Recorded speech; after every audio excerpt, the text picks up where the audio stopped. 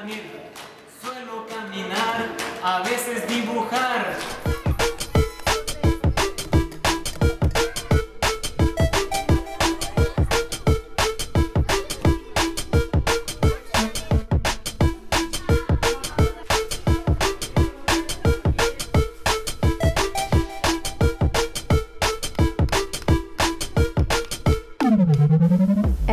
Centro de Arte Contemporáneo realiza todos los veranos unos talleres vacacionales dirigidos a niños y a niñas. Estos talleres se llaman Tac Tac Tac, Verano en el CAC. Tenemos el gusto de que ya se están realizando por tercera vez en el, en el CAC. Y a estos talleres vacacionales que se realizan en torno al arte contemporáneo asisten niños de distintas localidades, primero los del barrio de San Juan, que son los que quedan, son nuestros vecinos directos, y también vienen niños del resto de Quito, y esta vez incluso vinieron niños de Mindo. Los talleres duran tres semanas y para estos talleres siempre buscamos encontrar profesionales en arte contemporáneo y educación que puedan facilitar experiencias de aprendizaje a través de las herramientas del arte.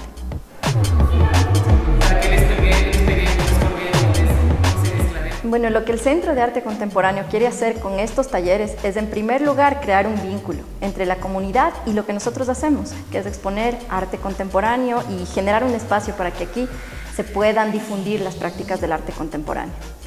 Dentro de esto también está todo lo que son las pedagogías del arte y ese es todo un campo de, de, investigación porque los niños a través de utilizar el arte contemporáneo pueden generar un montón de aprendizajes, descubrimientos, interrelacionarse, hacer un trabajo de introspección, entonces es un gran generador de conocimiento.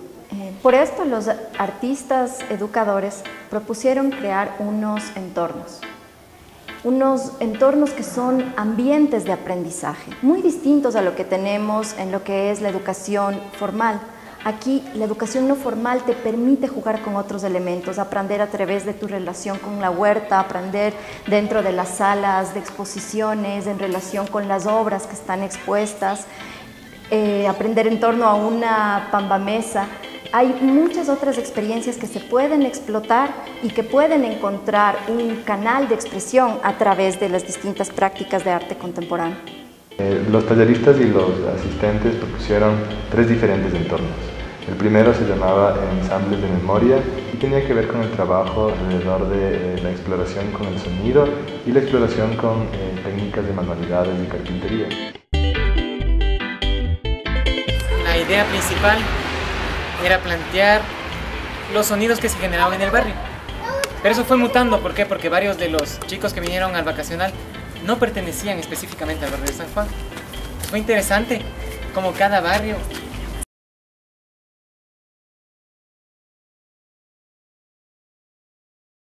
espaciales. Y bueno, fue un proceso interesante porque eso culminó en un análogo visual. Entonces, una de las obras, por ejemplo, de spin-off que nos sirvió mucho de referencia fue la de Pay White. Construir estas jaulas que serían un retrato del paisaje, lo que implica el paisaje sonoro, lo que implica el sonido, que pasa igual con la ausencia de sonido. Paralelamente con el, la propuesta de paisajes sonoros, se abordaron los ensambles. Los ensambles fueron escultóricos a partir del barrio, de las carpinterías. Bueno, fue una experiencia súper rica, más o menos trabajamos con aproximadamente 60 guaguas.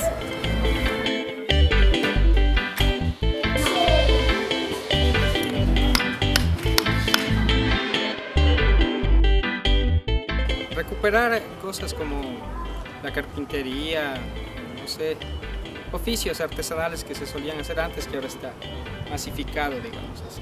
La propuesta era poder asignar ciertos colores a los sonidos más agudos o más fuertes o más repetitivos.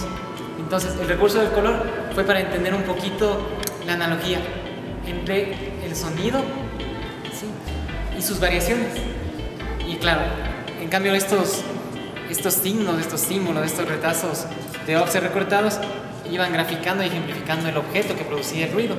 La idea era trabajar con ese recurso de un espacio tridimensional que abarca la sonoridad incluida dentro del espacio. Eh, el segundo entorno tiene que ver con la imagen en el arte contemporáneo. Es decir, de qué manera podían explorar todo este mundo de la imagen, de la construcción de los colores y de lo lúdico en, todo lo que es la construcción de, de las artes.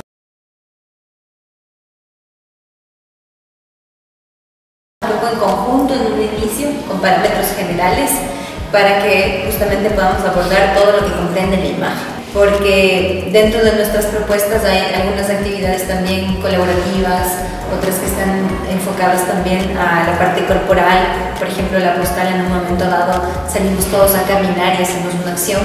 Entonces eh, es como que en un inicio nos pusimos temas eh, específicos y ciertos, en un enfoque para abordar esto de la imagen en el arte contemporáneo. En mi caso estuvo más enfocada a la parte del dibujo y la representación de la gráfica a través de la palabra y la tipografía. Los niños creo que se llevan igual un montón de aprendizajes, de experiencias, de, valores, o sea, en el sentido en que uno de nuestros ejes transversales también era siempre topar el tema de valores como una práctica diaria. Entonces todos los días con los guaguas hemos reflexionado en torno al respeto, a, cómo estar aquí, a cómo estar aquí, pasarla bien, porque ese era el sentido de venir a esta vacacional algo que me encanta que los niños tienen y que, nosotros también, como ya adultos, a veces nos olvidamos de experimentar. Entonces, yo no quería limitarme a que sea, eh, por ejemplo, el momento de hablar técnicamente, de usar un pincel, sino que sea un espacio donde tengas la libertad de lanzar pintura, de coger con las manos, de explorar el color a través de todas estas cosas. Si eh, los elementos que habían, por ejemplo, las pinturas, las no había para cada uno, sino que teníamos que aprender a compartir. O sea, si yo necesito el otro color, voy y busco ese color, eh, pido, o si es que alguien más, por ejemplo, dejó de usar en su cuadrado la pintura, yo coger esa pintura y volver a usar. Entonces son muchos elementos que, que implican todo lo que es el entorno. El tercer entorno se llama del cuerpo al huerto, que plantea la utilización del cuerpo, del movimiento, del espacio, de la danza, de la expresión corporal, y otro que plantea justo un trabajo en el huerto, que devenía en, en preguntas sobre, sobre la naturaleza, sobre cómo eso tenía que ver con el arte, con construir cosas, con lo efímero, es decir, cosas que quedan en el huerto, pero que más te sirven para la memoria para tu desarrollo que, que lo que pueda suceder en el espacio público en general.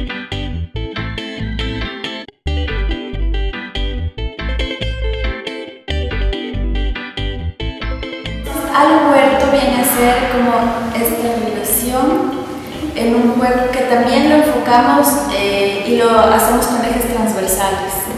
Hay un eje ¿no? que es el yo, nosotros, al entorno. El yo en el huerto lo trabajamos desde las siembras y las cosechas. El cuerpo. Siempre lo trabajamos como un ejercicio como metafórico. Eh, siembras de cultivos, cómo cultivamos, cómo nos cultivamos y cómo cultivamos estos espacios. El nosotros es eh, de cosechas y comparticiones, trabajamos también estos conceptos de cosechar, qué implica el cosechar, es un acto el cosechar, ¿no? es un acto humano y cómo lleva el compartir. Y en el entorno viene eh, un tema de agradecimientos y retribuciones utilizando principios y conceptos de la cosmovisión andina. Eh, la otra artista que estuvo en este entorno, ella viene de una comunidad indígena, quichua, eh, y fue una parte lindismo, de ahí también aprovechamos sus conocimientos, sus saberes para poder desarrollar algunas actividades y cómo las pensamos también como actos estéticos, ¿no? como estos juegos y como estos actos lúdicos.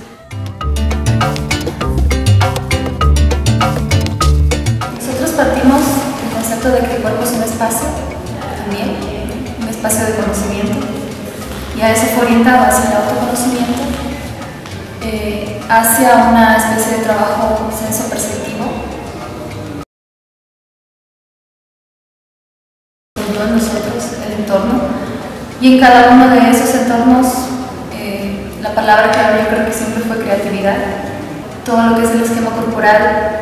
Eh, el dibujo del esqueleto, que fueron las, las, acciones concretas que hicimos a través del trabajo corporal de concientización de articulaciones, movimiento, tipos de movimiento. Nuestro taller no estuvo solamente dirigido eh, al trabajo corporal. El trabajo corporal fue como un estímulo sensorial.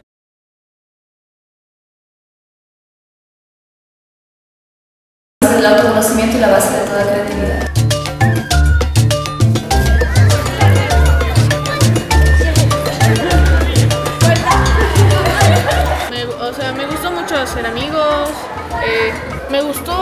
Hacer las maderas con el profe Pato, los profes me caían muy bien, eran muy buenas personas y me gustó lo que hacíamos. O sea, hacer cartas, hacer dibujos, de todo, todo estaba muy bonito, me encantó todo que los grupos también son de multiedad, es decir, eh, tenían niños desde los 6 hasta los 12 años en, cada grupo, eh, para generar una idea de eh, una relación comunitaria y una relación diferente a la que se vive en las escuelas. Una vez que has pasado por por conocerte, por trabajar con el otro, te empiezas a preocupar de lo que es el entorno y, y ahí es donde aparece lo que es una conciencia ecológica o también este, esta gana de relacionarte y de comprender lo que es tu ciudad, lo que es tu barrio y, y cómo puedes compartir lo que aprendes en esos lugares con otros y desde ahí generar nuevos aprendizajes, cuestionar discursos de alguna manera. Eh, me, quisieras contar qué experiencias o nuevas cosas aprendiste? Eh, descubrir que yo podía hacer cosas tú? como pintar o hacer cosas que yo había visto en arte y pensaba que yo no lo podía hacer. Pero cuando me enseñaron descubrí que sí y que era fácil. ¿A ti qué te parece? A mí no me parecía. A mí me encantó trabajar con con todos ustedes. Creo que es un reto trabajar con multiedad, con niños de muchas edades, porque cada uno tiene su mundo y cada uno explora como le gusta, entonces uno también aprende.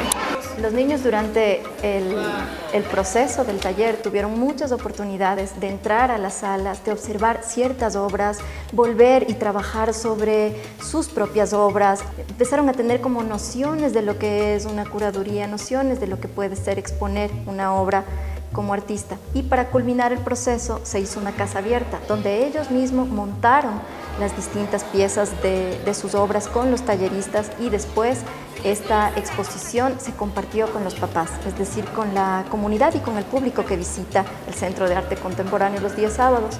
Entonces ellos pudieron eh, tener la experiencia de ser artistas también, exponiendo y confrontando su obra con, con el público.